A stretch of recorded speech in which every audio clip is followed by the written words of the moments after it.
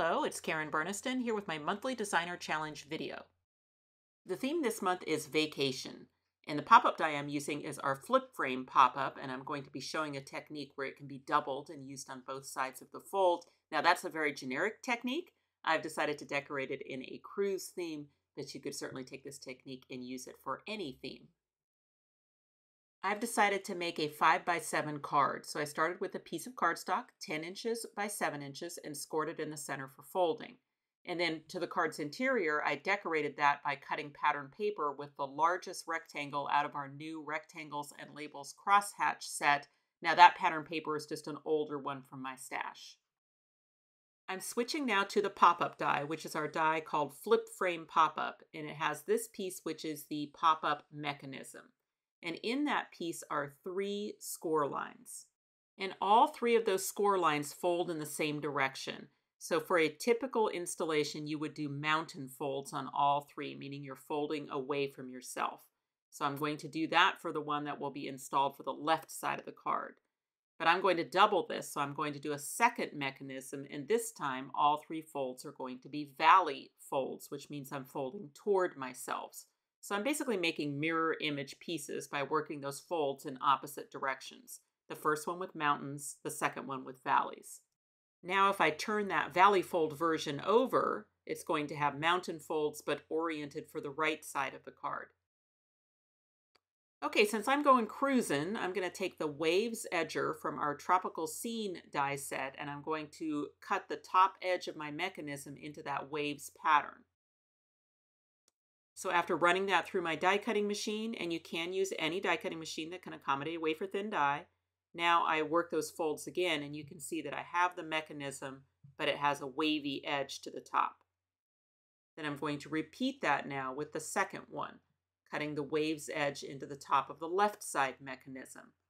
And again, after working those folds, I still have my mechanism in place, but it has that decorative edge. All right, time to add my mechanisms inside the card, and I'll start with the one on the right. Now, I love glue for this. I'm using my Lineco Neutral pH adhesive in my fine tip bottle. We do sell both of those items on our website.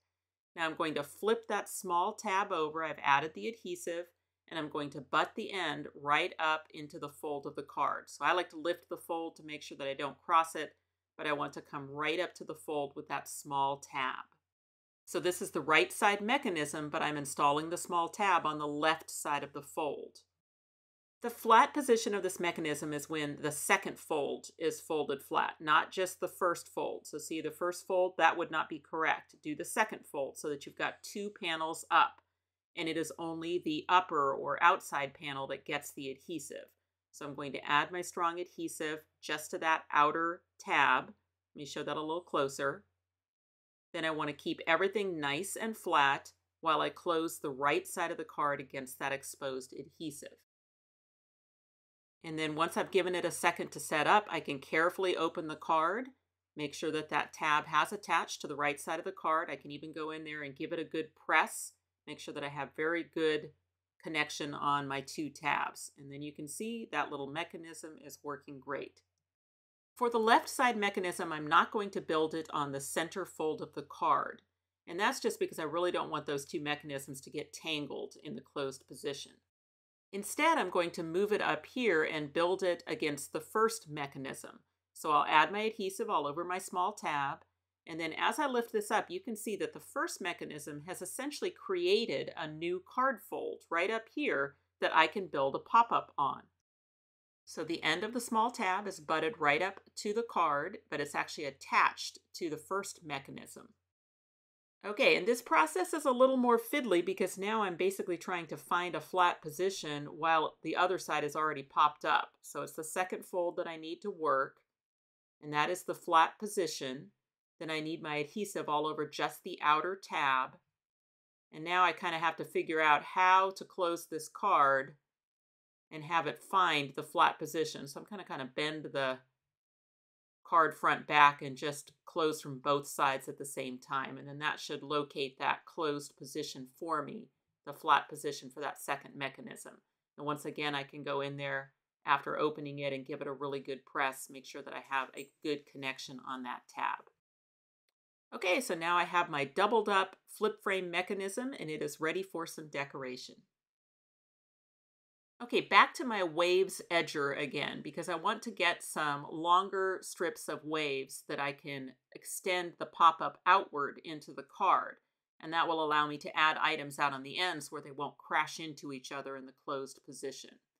So some adhesive on the pop-up. I've got my waves face down. Then I'm going to close the card, give it a second for that glue to set up, and then that pop-up is going to pick up those waves and lift them up when the card opens. Same exact process on the other side. So my waves go face down, adhesive on the front face of the pop-up, butt it right up to the base of that pop-up and close the card. And then that will pick up those waves into the popped up position. Now, these angles are not the same because remember the left side pop-up is attached to the right side pop-up, so they're not exactly mirror image. You can see that they have different angles on either side. I felt like that light blue cardstock was a little too lightweight to hold up my big cruise ship, so I decided to strengthen it and add decoration by adding another strip of waves, this time using the scalloped stitched edger out of that same tropical scene set. I'm going to be using our Cruise Charms die set, and I'm taking inspiration from the cruise ship charm to make a bigger version for my card. For the bottom half of the ship, I'll use our crosshatch hexagons. So I'll use the largest crosshatch and then the next one down. The smaller of the two dies I will cut completely out of white, but then on the larger one I really just need a pointed end. So that's the crosshatch one that I'm cutting out of red. Okay, step one is going to be to fold the white hexagon right up the middle between two points. Then I'll just take my scissors and cut off the bottom point. So just cutting from corner to corner. Now I'm going to fold in the center again. And on that square corner, I'm going to take off a triangle. So I'm just going to cut through both layers, cutting a triangle off of that side so that when I open it up, I have this shape. The red crosshatch hexagon, the partial one I cut, is going to create the border at the top. So I just need to isolate just the crosshatch section of that red hexagon. Then I can glue that to the white one. Anything that hangs off the edges, I can just trim off with my scissors. Okay, a little bit of ink on that center line and the two edges. I'm just using a medium blue ink and then some dark blue enamel dots three on each side. That completes the base of my ship, and now I'm going to move on to the upper half. And the first thing I'm going to do is just add some clear packing tape to some white cardstock so that the windows that I cut for my cruise ship will be shiny. To cut those windows, I'm going to use the set of four window backers out of our tiny house pop-up. And since I need five windows, I'll have to cut that twice.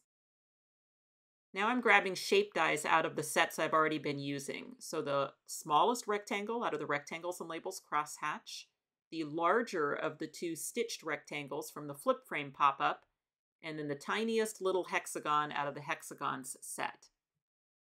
And I'm cutting all three of those pieces out of a blue cardstock. Then I decided to ink those pieces with some medium blue ink on that rectangle. I didn't have to go all the way to the bottom because I knew a lot of it would be covered up.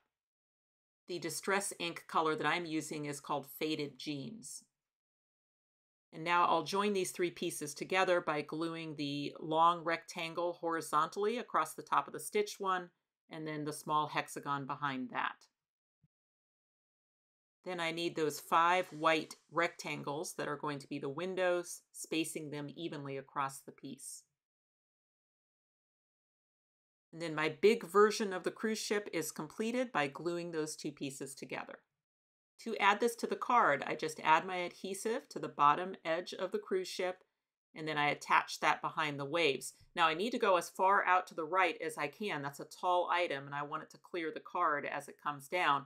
Obviously, I have to keep it in the card, but you can see I've got it pretty far to the right. I didn't think about what the back of the cruise ship would look like, but you do see it a lot as the card opens and closes. So I decided to go ahead and decorate the back with similar pieces. I didn't go the full decoration, but just the main pieces on the back so that it would look a little cleaner as the card opens and closes. The Cruise Charms die set includes a greeting, Bon Voyage, and I've cut that twice and layered them together, a little bit offset for a drop shadow.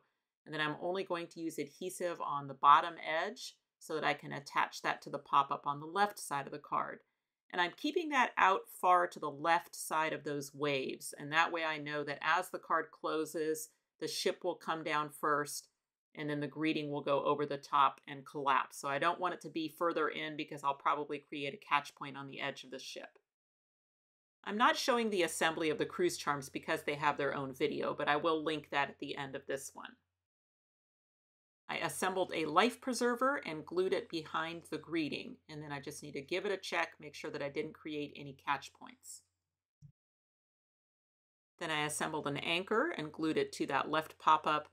Now again, I had to choose a location where it would not create a catch point.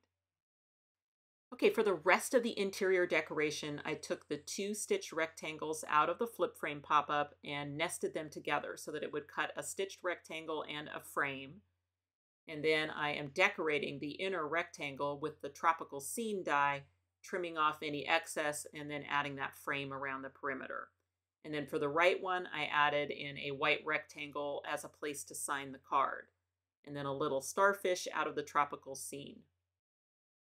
Okay, and all that's left is to glue those inside the card. So I'm going to glue the place to sign the card on the right, my little island oasis on the left, another one of those life preservers.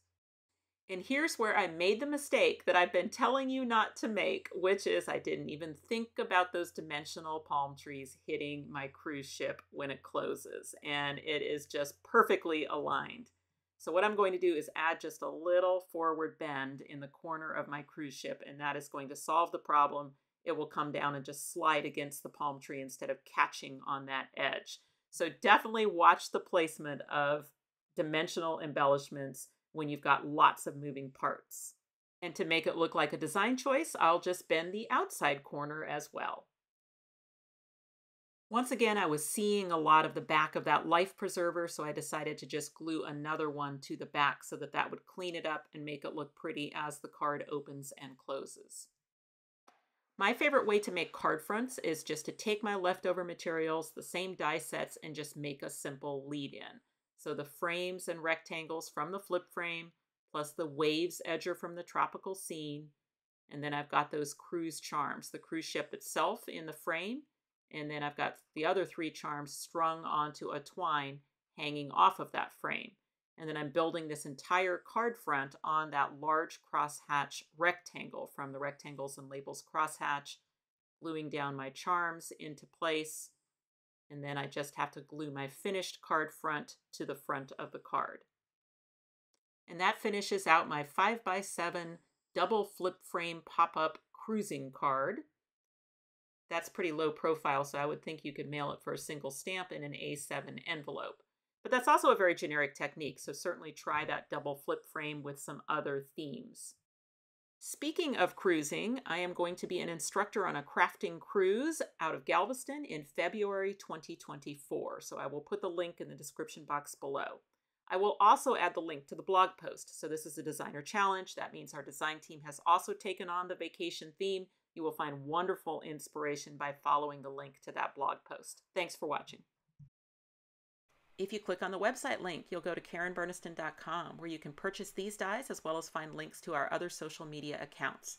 You can subscribe to this YouTube channel and check out some of my other videos. Thanks so much for watching, and I'll see you next time.